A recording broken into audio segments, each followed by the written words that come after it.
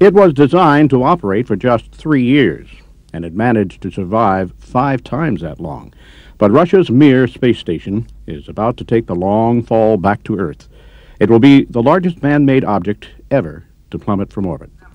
Launched in February 1986, it became the first orbiting craft in which men and women occupied a home above Earth more or less permanently.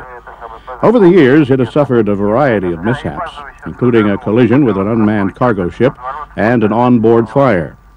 Last December, Russian engineers briefly lost control when its batteries went dead.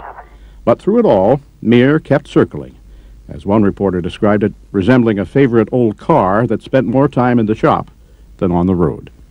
Russia's lower house of parliament, the State Duma, even passed a resolution urging the Russian government to somehow save the craft. But it wasn't to be. Moscow's meager space program just cannot afford the expense. One of the cosmonauts who served aboard Mir, Sergei Zalyotin, said it's been there 15 years and everything has to end. It has been declared airtight, its temperature levels normal, and the flow of electricity from its solar battery stable. So Next Thursday, Russian space officials will send an 11-minute pulse up to the aging spacecraft to send Mir on its final journey to a watery grave in the Pacific east of New Zealand.